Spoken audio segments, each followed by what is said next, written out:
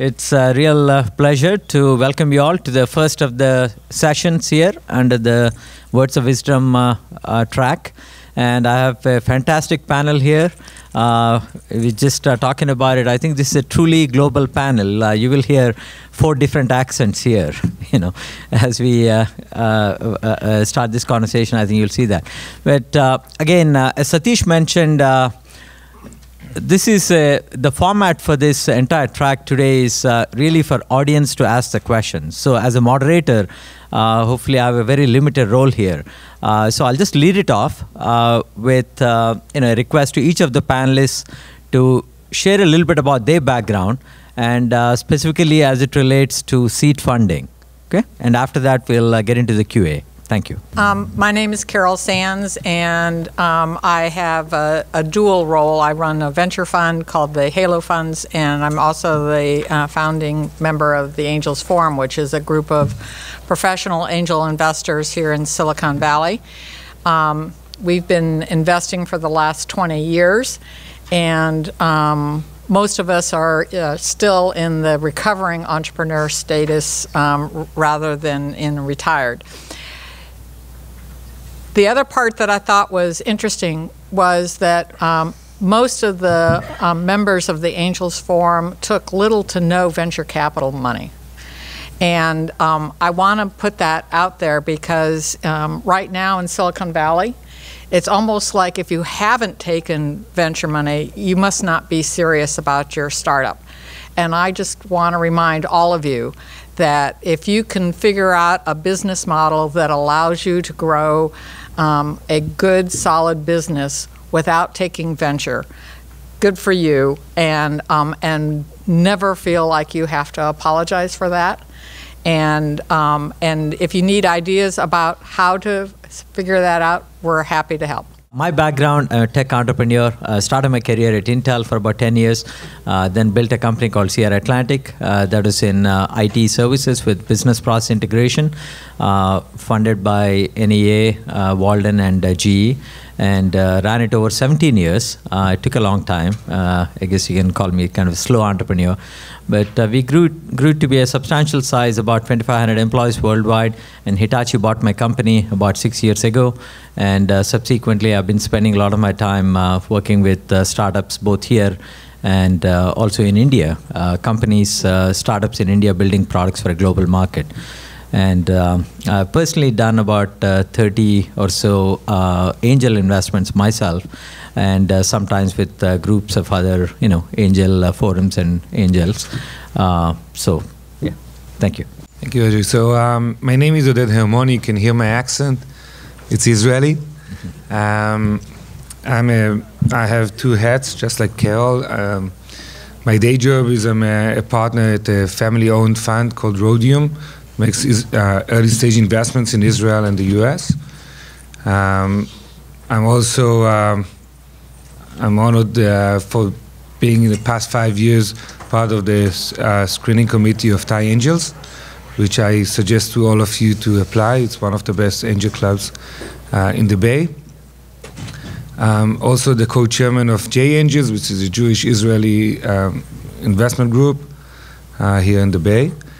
Um, because Carol started already, and I think she said something that um, really worth listening to. No, I, I agree with her uh, 100%. Just another example um, our family, the family that I'm a partner uh, with, invested in a company called Mobileye uh, 17 years ago. It takes a long time for those companies to get mature until they're being acquired for $15 billion. Um, Was that what there the were B? no there were no other VCs in this company Yeah. until they went IPO. There were no other VCs, so VC is not always the answer, and I totally agree with you. Sometimes it's better to go to uh, private investors who understand this industry, who believe in you, who can give you the right resources for where you need and, and the time, and help you to get there. VCs are not necessarily; it's just another vehicle. Okay. Yeah.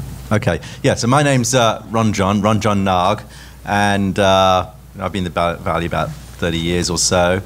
And uh, my background is uh, started off ac- academically. Uh, so my PhD was in the AI space, and I started essentially Stanford's first neural network company in 1991. And uh, that company was doing speech and handwriting recognition, and we sold it to Motorola. And going echoing the comments of uh, Carol and Oded, uh, the seed investment in that was $500. Uh, uh, and uh, uh, we got it started. For me, it was actually quite a lot of money at the time. I was on a Yeah. student stipend, Uh, uh, and uh, I think we got twenty thousand percent return, twenty thousand x return, um, and. Um, uh, the next one uh, started uh, the, the first mobile app store, and that was more venture financing, um, more what you'd call so-called traditional route, and sold that to BlackBerry. And uh, the third one was where I was more the advisor and investor, uh, uh, Vocal IQ. Um, we sold that to Apple. So my reputation is starting companies and selling them to mobile phone companies.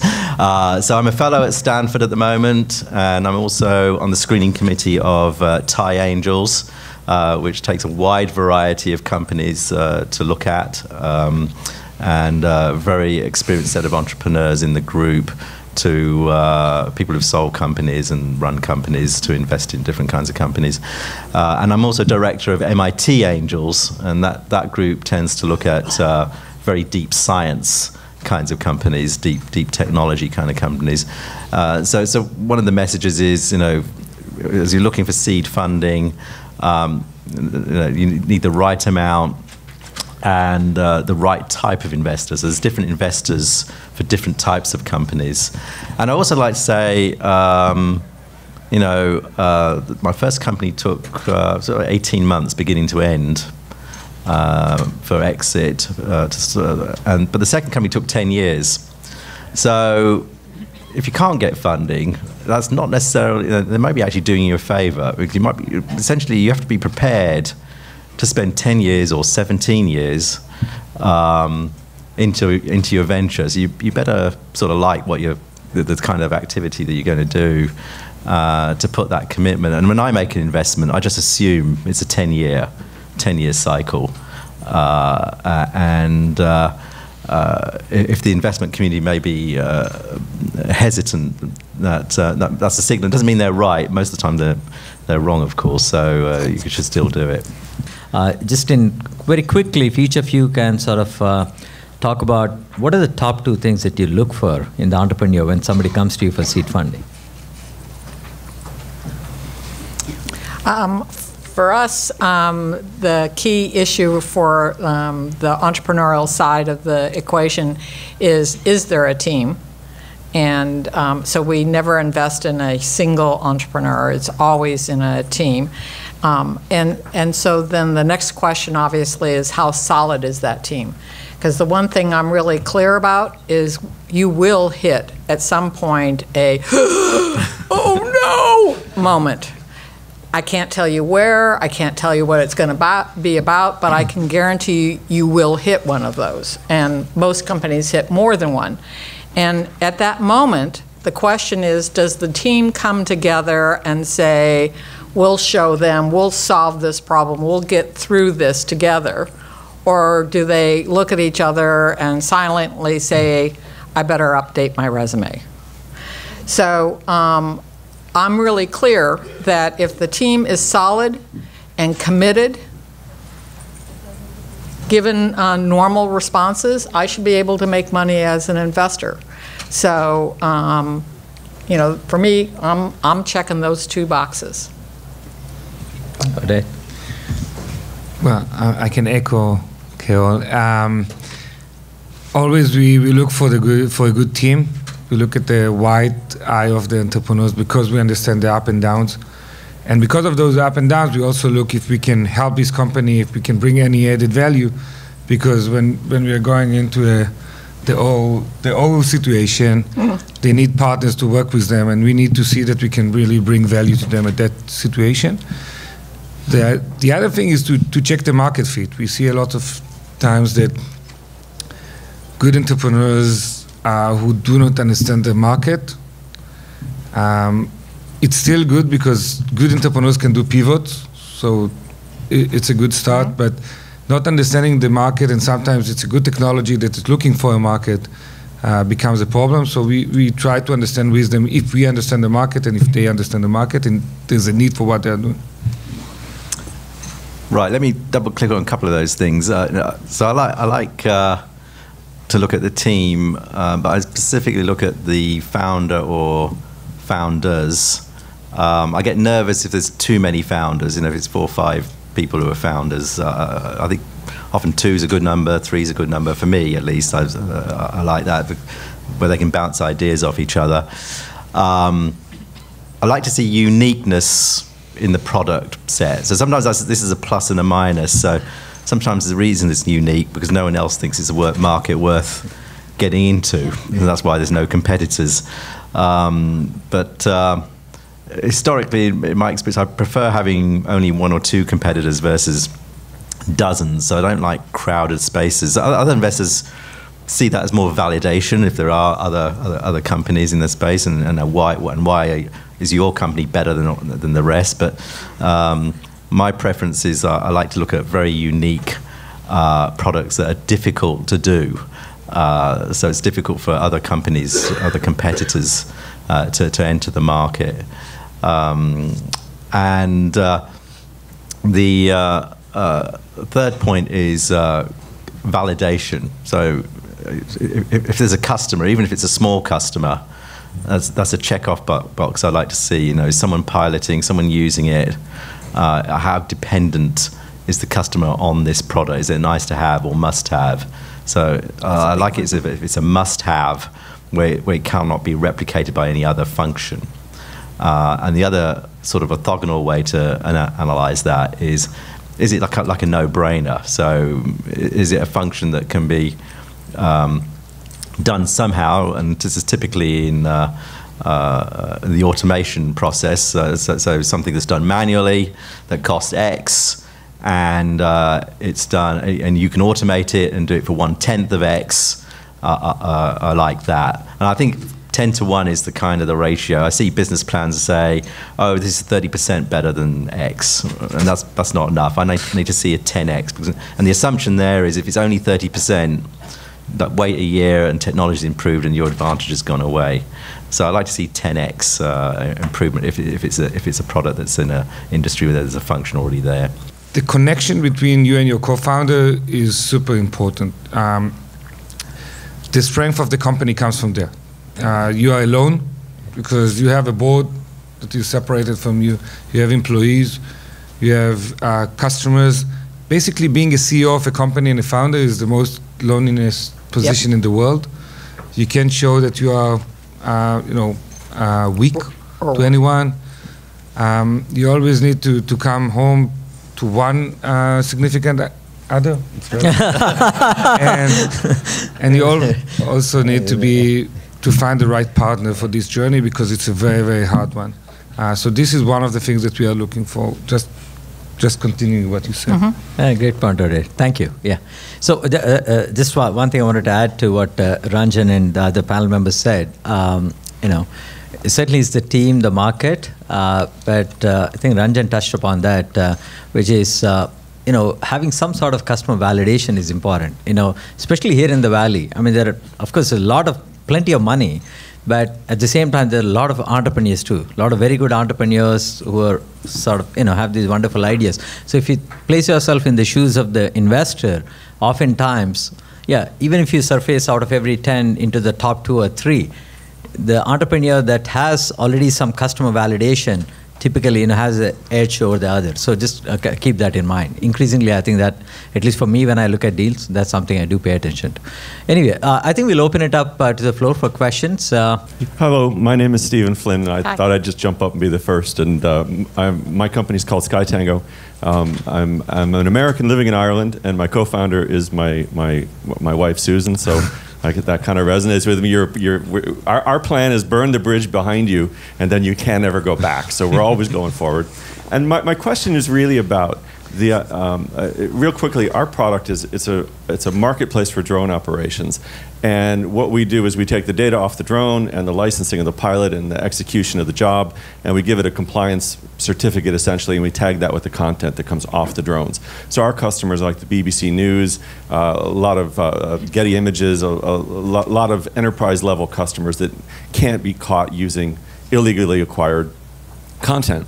And what's really interesting for us is we've been out now about 18 months out of an accelerator in Dublin. And on Tuesday, we've got a group of uh, syndicate angels coming in for uh, hopefully the last conversation before we do a term sheet.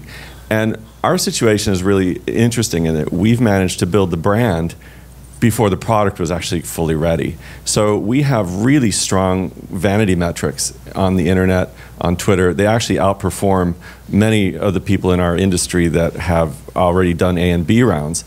And so we've got really strong brand, and now we're trying to slot in the, the product underneath that. And we do have some financial traction, but it's, it's pretty minimal. You know, they're in beta trials and it goes to your point. They need it, but we just haven't been able get to, to get. the question, please. Yeah, I'm yeah. sorry. My, so my question is, my question is, is how do you value that? You know, when you're in the conversation with with an angel around, you know, it's not strong financial metrics, but you have really strong market you know, uh, presence. And I'm, we're, we're just going to go into that conversation. I'm wondering how you would value that in terms of the valuation of the company, one against the other. So given that you are doing a B2B, I actually wouldn't value it very high. Um, so um, you're in a, a, business that is, um, for your small select group of customers, is a must-have. So that's fabulous. I'm more likely to give you extra bonus points for that. Um, and uh, on the other side, you're in a small market. Um, and so the financial metrics start being the overriding uh, concept um, here. So um, I get it that a lot of people spend time and energy on uh, social media and and um, building a brand. Um, and for some businesses, that's really important. But on a practical basis, when you end up having a buyer of your um, product or service, and that group of buyers is less than a couple of thousand, brand doesn't matter. Performance matters. And, um, and so you've spent all this time and energy on something that doesn't matter. So um, before you start doing that, figure out what's what's the, um, the outcome of that? Uh, my name is Surya. I'm founder of Sirap Technologies, uh, which is a startup company focused on enabling technologies for automated driving. And uh, we have patents, uh, patent pending technologies on uh, high assurance lane keeping and platooning. That's radar based, where it's provably much higher safety assurance than any of the existing methods. And we have validation from both academia and experts who have been working on aut automated highways for you know decades, like 40 years, though they could not commercialize it. But we also have you know a validation from OEMs themselves, like you know we have support letters from very large OEMs like in India and abroad. My question is like you know when it's a hardware kind of product, which uh, which can be pretty you know intensive and we need engineering resources to kind of build something like that we are all looking for strategic funding but when is a good time to approach angels because angels are typically looking for already validated product or where there's uh, already money in the uh, money coming in like which is not the case for a hardware product like this like so uh, I think angels are ideal for very early stages because sometimes they'll be irrational in terms of like they think they, they know the space or they've been in the industry or they've made other investments. I don't know if my colleagues disagree, but hardware at the VC level at the moment um, is uh, is not looked on that favourably. Uh, and I think that's actually a mistake because it's easier now to do hardware than it used to be. Uh, there's a lot more systems, and uh, from an investor point of view, hardware is often priced lower. The, the, the valuations you are priced. Kickstarter. Yeah, we have Kickstarter to validate it. The VCs are only just beginning to sort of catch up with the, these kind of models. Um, and so you might actually get better traction with the angel community on hardware deals. Uh, and um, so I'll stop there. Um, I, I, would say that with all funding issues, the um, key to finding the right funder is to say who really cares about the outcome of this company. And um, if you can come up with a, um, a demographic of the, who, the, who would care, then um, looking for the investors within that demographic becomes a lot easier for the uh, fundraiser. Angels come in all sorts of shapes, sizes, uh, geographies. I mean, um, we had a, an entrepreneur that came in to meet with us the other day who's in the clothing business. And there is a sub community here in um, the Bay Area that understands clothing, but it's a really small segment. If you're in clothing, you need to be looking for funding where the clothing industry has some um, deep expertise. And so maybe, um, you know, what you're looking for, um, and, and I'm not saying that's true with this particular company, but maybe the answer isn't here in Silicon Valley. Maybe it's in other parts of the country. And you just need to be thoughtful about where you're going to find your uh, funding sources. I totally agree with, with what Carol said. So, like, let's say you're in the ad, advertising business, okay? So, um, you can go and find more experts in New York or in LA if you're in the movie industry and you're trying to do something like that, you will probably find it in LA. Um, agri-tech or, or maybe um, um, healthcare could be either here, San Diego, or in in Boston. So um, think about ecosystems, and each ecosystem represents different interests. So if you go uh, Snapchat, for example, maybe it would be hard for them to raise money in Iowa. Yeah. so, so we need to think always what what's the right matching and where we can find the right the right people uh, and how we get to them f- as fastest as we can. People move over here because they think this is the mecca of funding. Well, we do have a lot of money here. it is mecca of funding. Thank you. But there are other you know, when you when you go to Mecca, you're you're fighting with another with, with lots of other good entrepreneurs. Other entrepreneurs, yeah. And sometimes, if you go to other places where you have a specific advantage, and this place has an advantage for you, it's a better match. This is what I'm saying. Um, so we are working on 3D object recognition, and there and is your a name? Nirav Mehta. Yeah. Um, there is a need of this solution in construction industry. A similar problem might arise in the AR VR industry in future, but the timing is uncertain. So the question is is it better to go after a slow growth market and a smaller market potentially, which is more certain, or go after a potentially big AR, AR market whose timing is not that certain?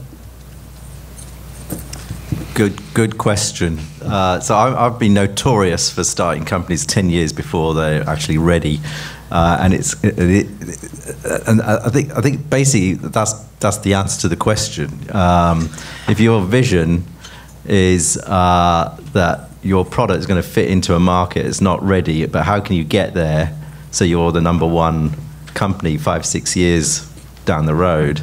I mean, I, I did the mobile app store in 1999, right? We were doing smartphones in the 1996 timeframe. It uh, was the Nokia 6. Yeah, before that even. So Motorola. Motorola, yeah. Before uh, the internet. Speech recognition, not before the internet. But uh, so, so, psychologically, uh, you've got to work with you and yourselves and your team and any potential investors. Say, well, this is my vision, and there'll be many points during that time frame, and so this might be the length of time. But when we get there know, we'll be the uh, you know, be, in the right position to to harvest fields. And um, you know, I think that the tendency of investors says, well, no, how can I get a big market right now? I can't have a big. You know, is there a market right now that's big, getting the hockey stick? Um, and there'll be that style of investor. There's another set of investors who will be more patient, uh, who are more so look, yeah, I think it's good you're getting revenue now on something, and the market is there, and you've got a vision to up, up upscale it. Um, but you really got to get a matching uh, thing uh, uh, with, with, the potential investors. Um, I, I can try to answer it as well. Um, listen, I think any investor here always try to do something that is, uh, in a way, we try to to be to make a revolution in, in certain areas, and this sometimes means that we need to invest in something very early. Uh, I invested in drones in 2005. Um, it wasn't a good timing, right? It was. It took about 10 years for this uh, industry to. So we had no ecosystem, um, and at the end, when you think about an angel or any seed investor, is part of a value chain. So we take you from here, from, from A to B, and someone needs to take you from B to C and, and elsewhere. And if there's no one to take you from B to C, it's hard for us. It's hard for you. Um, I can't tell you specific about your industry. I'm just saying that you should look for. We are looking for an ecosystem that can help the companies further on, still be the first one in the market. Um, the second thing is um, sometimes it's um, it works. So the the example that I gave before about Mobileye, Mobileye tried to do self-driving cars 17 years ago. This was the vision, right? I mean, think about it. It's quite a crazy idea, right? 17 years ago, just like 99 app stores.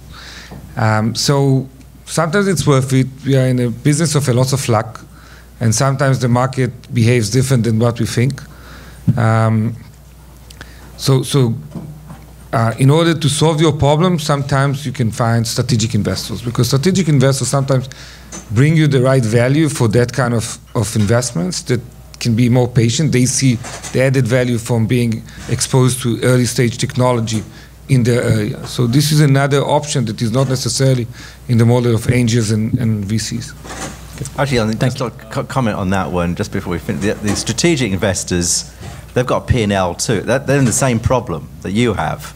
Should I invest in this crazy technology that's only going to be ready six years from now? So I can either do that internally, but it's going to hit my P&L. But if I make an investment in you, economically, it's more, it's, it's actually helps them. Yeah. Hi, uh, my name is Karnveer Mundre. I'm director of a company called Atharva Life Sciences Consulting. We're based in Bangalore. Uh, I had two quick questions. One is that, uh, you know, uh, the concept of secrecy. Till what time, uh, you know, when should we sign NDAs? How should, because many of the people we approach, we have never spoken to them uh, before. We don't know them, especially investors and all these kind of, and everybody. You know, how much should the, how much should we talk about it and how do we protect it via telling people? And the second concept of you, you everybody ta- talked about the concept of creating a team. Uh, well, sometimes uh, you know we don't have a team. Uh, just be like we we are an individual who came up with a concept. Would the uh, you know the angel or you know would you would would the panel or similar people help us in creating suggest people creating a team uh, filling in the blank spaces uh, things like that thank you So the venture community um, is got a long time history of um, agreeing to put a team um, around you, but understand almost always within 12 months you're no longer in the company because you're not a useful team member to them because they've put a team together that they want. Um, and so, you know, if you want to be a part of the company going forward, I highly recommend that you build the team that you want. So um, it, it's a choice. The secrecy issue um, is one that a lot of entrepreneurs seriously misunderstand. So let me start with the basics. No experienced investor will ever sign an NDA, ever, no matter how secretive it is, because an NDA is just a good excuse to turn around and sue me. So I'm never going to put myself in that position. Um, and two, is as much as you think that your idea is worth a lot of money, it's really worth nothing unless you execute on it. And so um, part of the reason why the um, whole attitude around um, secrecy is so loose here in Silicon Valley is because everybody understands it's not the idea, it's the delivery of the idea that makes money. And in the process of talking about the concept with others, sometimes you can get some really good ideas and make it better. And in the long run, that's more successful. Um, I saw so many entrepreneurs who were so um, afraid of sharing their idea that they stayed together alone in the room for many years, and they stayed there. if you don't share, it wouldn't work, right? I mean, um, uh, VCs for for sure. This is the business is not to make is to invest in companies and help those companies to grow. It's not to do those companies. Some of them been entrepreneurs in the past. They did it already. They have a lot of respect to your ideas, by the way. Um, I think Silicon Valley is the only place where rich people are looking to meet with poor people. Right? They want to hear from them. It's the only place in America. And there's a sense for it. Um, so they think that you know more than they know about what you should know. And based on that, when you share with them, they will give you their mostly uh, their perspective of seeing lots of other companies maybe in this area, maybe uh, patterns of companies that try to do similar things, but they won't try to do it themselves because they will hurt their reputation. And the only thing that we have here, all of these people in this panel, is reputation. This is the most important thing. When we damage our reputation, we won't see other companies, we won't play in this uh, town again. Okay, so we are also a player in this game. well, I was just thinking uh, you can just flip what Oded said and you know also describe it as Silicon Valley is the only place where poor people are willing to meet rich people because these are typically investors are poor in ideas and entrepreneurs are rich in ideas. So depends on how you look at it. like that. Go ahead. Art. Hi, um, I'm Borani. I run Solvany uh, Corporation. The name of the company is Solvany because we are here to solve a business problem for the large enterprises, right? And uh, a quick question about the team. Um, you mentioned about we need to have, uh, you'll be looking for a strong team, right? Normally in uh, small startups, we have very few handful of people, three or four people. We do, uh, we wear multiple hats. Uh, we do product development, pro- engineering, marketing, sales, everything. Do you look for? Uh, I don't. I, I- know that you will not be looking for a structured team, but any team size or go-to-market strategies? Is there anything that you'll be really looking for from the skill sets of the people? I think the um, I, my first company, our peak, we were three people. Right, we started off with two people, and we got acquired when we were three people. Um, and the three people all had uh, they're all PhDs, but they had um, complementary skill sets uh, and uh, uh, had similar backgrounds. Um, uh, so two of us had worked at this, been at the same university. So things I look at uh, teams is well, how long? How do you know each other? Right? Did you just meet each other three weeks ago? Uh, or did you uh, go to school together, or did you work in the same company?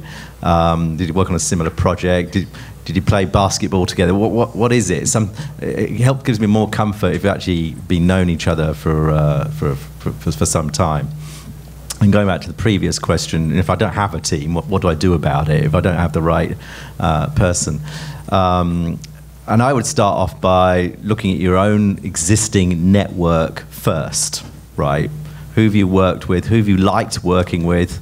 And who can bring skills that, that, that, that, that uh, matter? If you can't employ them, if, you, if they don't want to join yet, but can they actually be on the sidelines if you did get funding uh, to, uh, to, to join, who would commit to, upon funding that, you, that, they, would, they would join?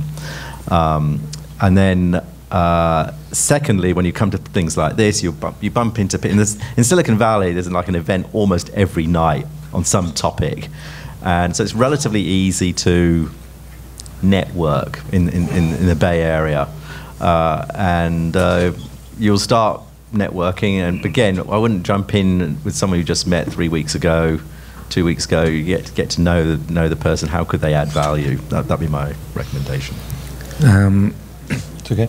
um, well, I can just uh, continue what you said. Um, first of all, there's two. Usually, it's two co-founders, right? One is um, doing the business side, and the other is doing the technological side. Um, we do hope that they know each other for a while, uh, and they complementary to each other. Um, sometimes we, we do understand that you don't have all the expertise.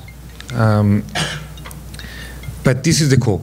So if you bring good understanding in your business, or some track record in your business, and the other one is good in engineering, for example, it's a good start.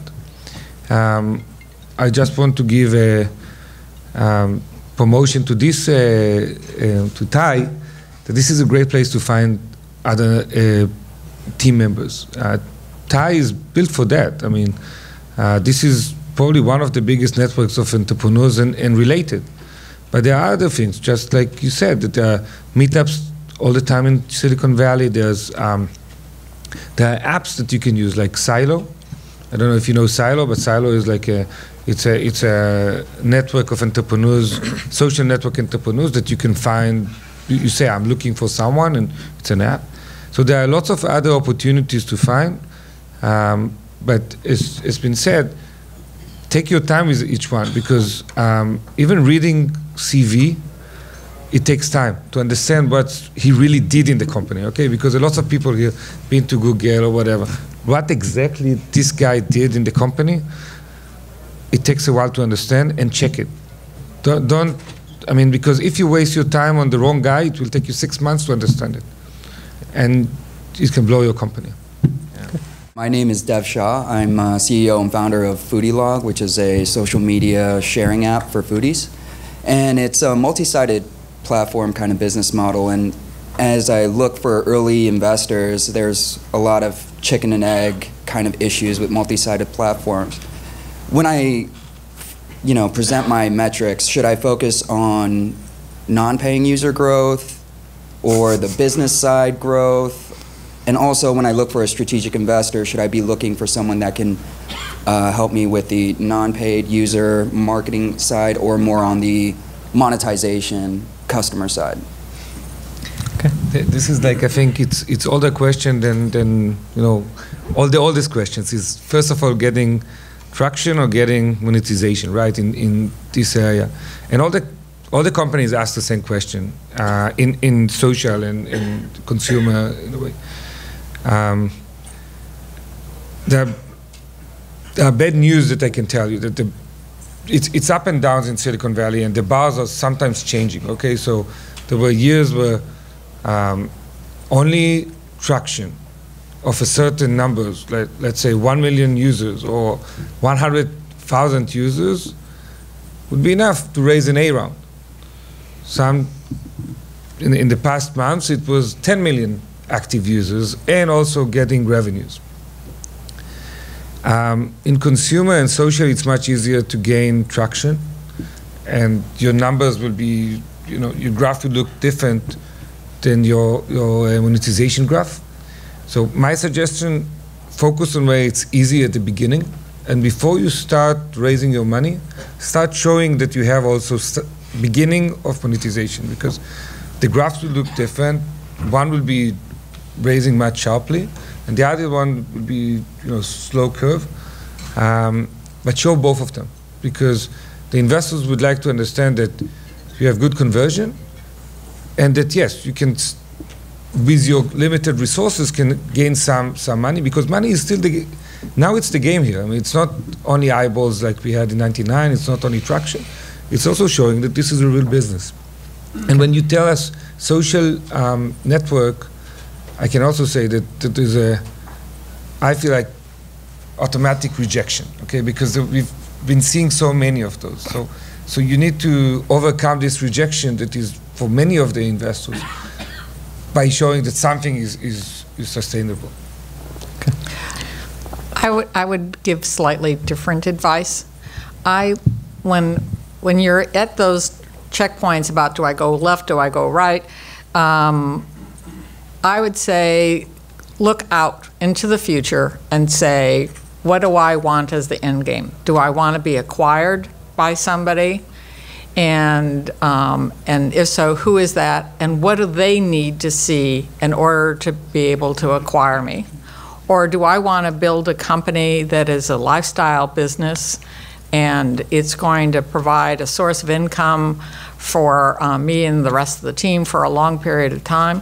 Or do I want to do an IPO? What do I need to do to accomplish that? And then once you've figured out what end game you want, start working backwards. And um, it will start telling you what kind of investor to um, look for, um, how fast does the company need to grow. It'll tell you, um, based on what kind of investors you're trying to attract, what kind of metrics you're going to have to um, show and at what points. It, it actually becomes extremely clear once you know what you want as your end game. Interesting. Uh, I mean, just one comment on what Carol said. Um, I know it's, it's a disagreement necessarily, but uh, just uh, when we talk about uh, the end game being to be acquired or being a public company, or a uh, lifestyle. Yeah, yeah, I understand. Uh, but but just uh, between those two, uh, I always thought of to be acquired, you still have to think, act, and build a company to be a high quality public company someday. Then the right things will happen. So in a lot of markets, it's not so much about, you know, I, I guess a lot of times to be acquired is not quite the, it's, it's not that different from trying to be a high quality public company. Th- then the right things will happen. J- j- just a perspective, that, yeah. My name is Ramesh Rao, Silicon Valley resident, but just uh, started a company with IP out of Hyderabad, India, in capturing uh, VR panoramic view. Uh, it's uh, geometric optics and all that kind of stuff. So there's a lot of talk about investments and different things. My question is from the perspective of the founder CEO. How can they groom themselves to be very good at what they do and protect their position? Okay. Uh, how can you, I mean, not as investors, but yeah. based on your experience, what kind of advice you can give?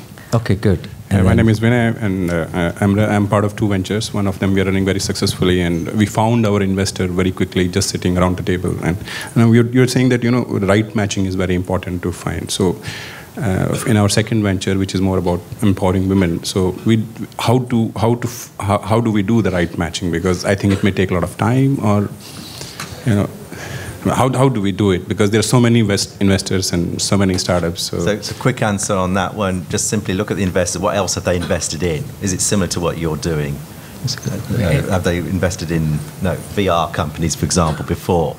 Uh, your answer, quick answer to your question. No, one second, just, can I Oh. just add to Oh, what yeah, you said, just to finish it? Yeah. And I think you should ask, just con- continuing that, and ask the companies that they have invested in what they think about their investor. This no, but just that, that, that may not be the right investor for me because he, he, he might have failed in his opinion, or, or the, maybe the founders were not the right guys where he invested. Uh, Just get the information. I think either way. Either Just way. ask them.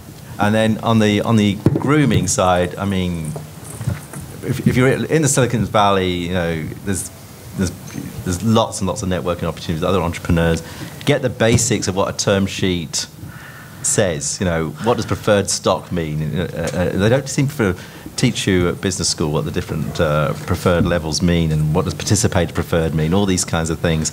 Uh, that uh, so at least you know what the language is and it's not being put past you. Um, I'll stop there. Carol. I, I would um, say that one of the singular most important things about being a founder is being a leader. And the uh, key element of leadership for me is courage.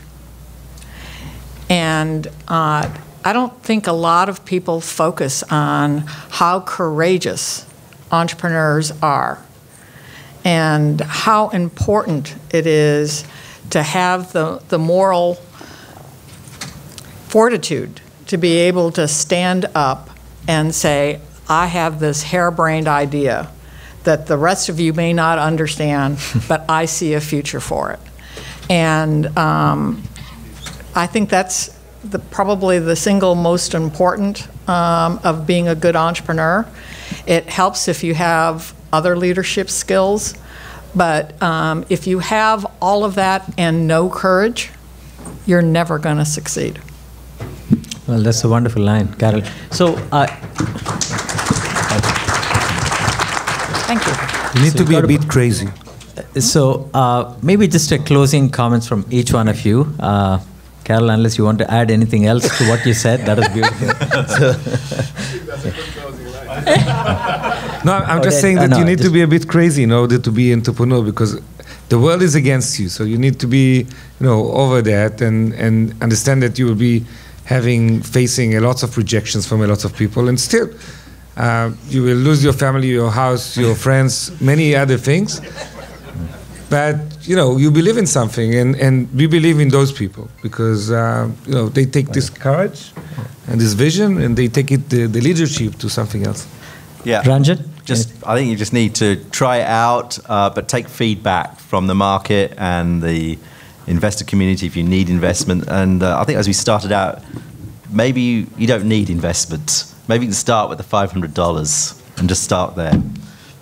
You made a lot of money from Yeah, the 500 that's Well, again, uh, I think they're just a fantastic uh, panel here. Uh, uh, uh, just one uh, closing comment. Uh, you know, there are a lot of uh, players in the entrepreneurial ecosystem. Uh, it's you have the seed investors, you have the venture capitalists, you got investment bankers, law firms, you know, all kinds of uh, uh, participants.